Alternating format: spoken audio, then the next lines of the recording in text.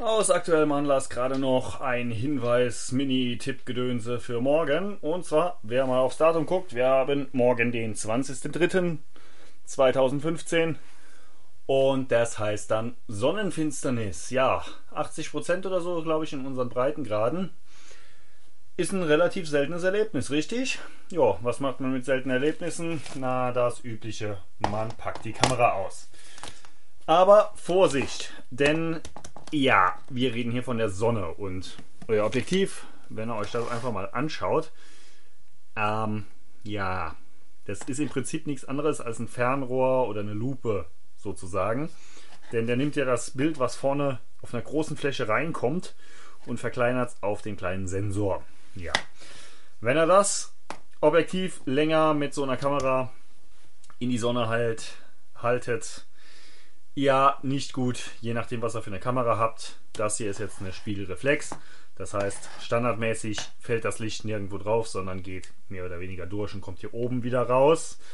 Hat allerdings zwei Einschränkungen. Zum einen, wenn sie oben wieder rauskommt, da ist euer Auge, ist keine sehr gute Idee. Und zum zweiten, hier zwischendrin sitzt die sogenannte Mattscheibe. Das ist dann, ähm, ja, eine, wie der Name schon sagt, matte Scheibe, wo das Bild drauf projiziert wird, sodass die Einblendungen gemacht werden können. Das heißt Fokuspunkte, die Informationen am unteren Bildrand. Und ja, die würde auf jeden Fall Schaden nehmen. Wenn ihr eine Systemkamera habt oder so eine kleine Pocket-Gedönse, Mini-Digitalkamera, dann fällt das Licht üblicherweise direkt auf den Bildsensor und das ist genau dasselbe Problem. Dieser Bildsensor bekommt diese komplette Sonne ab. Die Hitze bildet sich da drin und ja, im Prinzip schmilzt euch der Sensor in der Kamera weg. Ist natürlich nicht der Fall, wenn man nur mal kurz hochhält. Dann, das geht in den meisten Fällen noch gut, aber ja, äh, wenn ihr irgendwie stabil nach oben haltet, um irgendwie scharf zu stellen oder ihr wollt irgendwie Zeitraffer oder sowas machen, keine gute Idee. Lasst eure Kamera ganz, zeigt sie nicht nach oben. Jo, was nu? Erstmal neuen Akku für meine Kamera, würde ich sagen. So, also, jetzt haben wir natürlich ein Problem. Denn wie schützen wir jetzt unsere Kamera? Für die Augen ist das relativ klar, da gibt es so fertige Brillen und ja, für die Kamera natürlich auch. Das heißt, wenn ihr es richtig machen wollt, ganz schnell morgen früh noch in den Laden. Es gibt solche schönen Filter für vorne drauf zu schrauben. Die meisten Objektive haben ja ein Filtergewinde. Und äh, ja, den schraubt er einfach rein, der dunkelt das Ganze ab. Und dann könnt ihr relativ gut damit arbeiten. Aus Sicherheitsgründen würde ich trotzdem nicht den optischen Sucher benutzen, sondern wenn eure Kamera das hat, Live View, also das Display, dann äh, seid auf der sicheren Seite mit euren Augen. Selbst wenn mit dem Filter was schief geht, im Zweifelsfall ist es nur eure Kamera. Ähm, andere Möglichkeit, die es gibt, ich glaube von Netzwelt oder irgendwas, werde ich unten auf jeden Fall verlinken.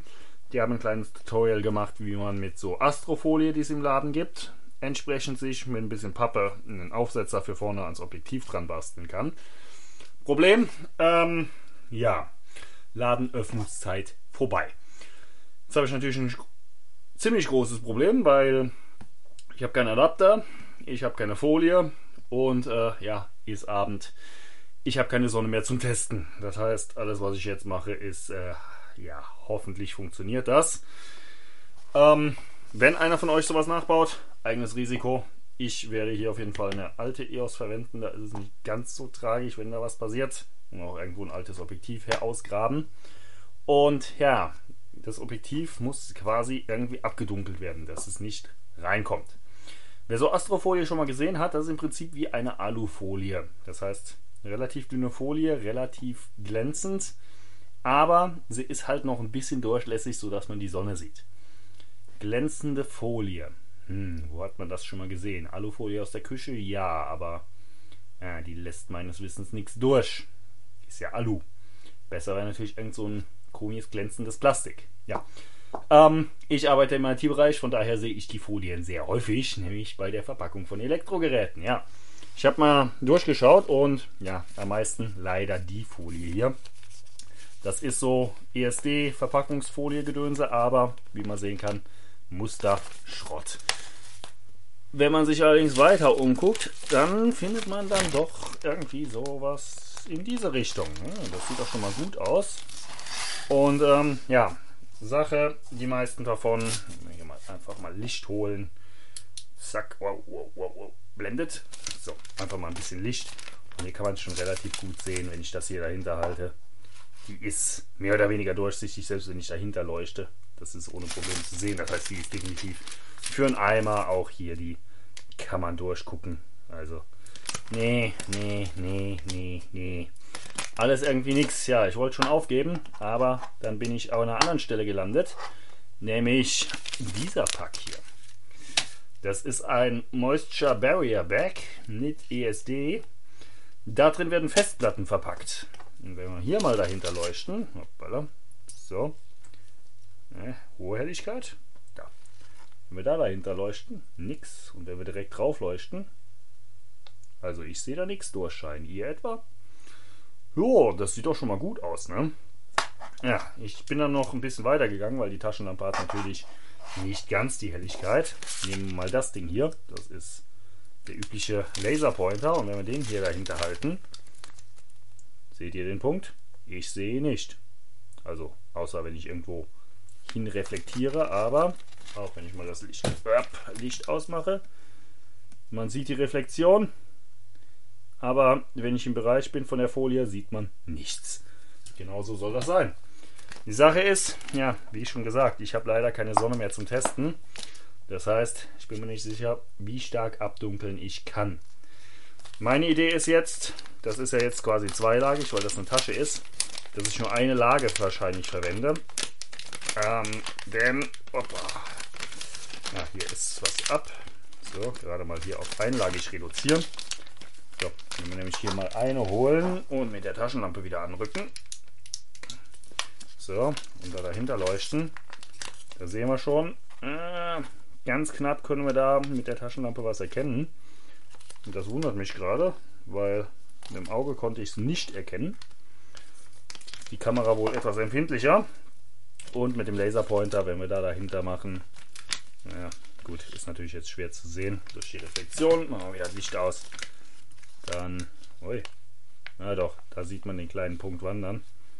Ja, also da scheint noch ein bisschen was durch. Und ja, das ist dann mein Sonnenfilter, Redneck Style. Bisschen aufpassen, ihr habt es eben eventuell gesehen, hier oben ist schon so verknittert. In den Ritzen sind teilweise Lücken drin und da ist die Beschichtung weg. Die natürlich nicht vor die Linse setzen, das wäre übel. Da kommt die Sonne ungehindert rein. Und den Rest, ich baue es mal zusammen und dann gucken wir mal. Ich werde wahrscheinlich trotzdem die einfache holen, einfach weil das hier ein Weitwinkel ist. Das ist nicht ganz so schlimm. Ich, ich habe nicht direkt die Sonne überall da drin. Und äh, ja, mit einer kriege ich wahrscheinlich eher noch halbwegs etwas hin, wo man die Sonne noch erahnen kann. Und ja, ich werde auch noch eine von den Folienresten mitnehmen und dann versuchen entsprechend mit der Kamera selber da was zu machen. Die zweite Kamera, die alte, werde ich hier fix stehen lassen für eine Langzeit, also nicht Langzeitbelichtung, für eine Zeitraffer. Natürlich mit Folie außenrum alles, was schwarz ist, auch abdecken, weil äh, ja nur wenn ich nur das Objektiv mache, ja die Kamera hier hinten durch das Schwarze heizt sich natürlich auch entsprechend aus, auf. Und äh, ja, ob sie es überlebt, das hört ihr dann irgendwann morgen oder am Wochenende vielleicht. Wenn ich groß am Fluchen bin, hat es nicht überlebt. Wie gesagt, ist halt nur mal eine Idee. Ja, mal gucken, was rauskommt.